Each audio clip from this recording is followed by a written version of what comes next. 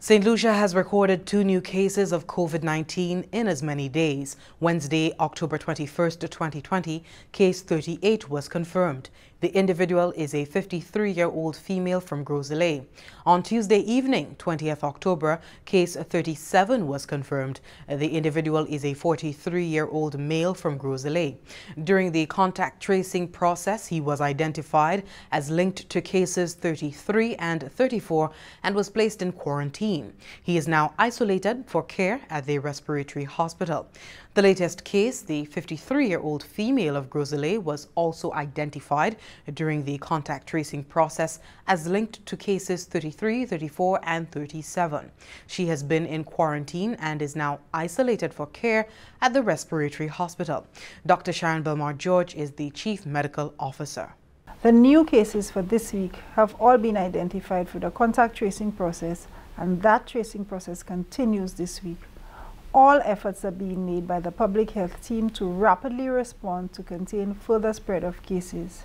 We anticipate new cases as we continue the process to identify, test, and isolate further contacts. As we proceed with the necessary public health interventions, a serious appeal is made to the public to cooperate with our health officers and to practice daily the behaviors which can protect your health and safety.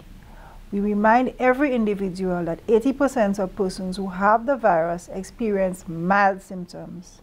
As such, it is important that we all remain vigilant and respond promptly to any symptoms of concern to avoid further spread of the virus. The Ministry of Health, we take the opportunity to remind the public to adhere to the infection prevention control measures. Ensure that a mask is used always when going out in public. Maintain a safe physical distance from others when out as well. Wash and sanitize your hands often throughout the day.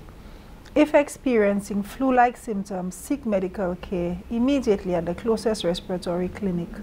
We also want to remind the business places to ensure that all of the protocols that are in place to keep your patrons healthy are sustained.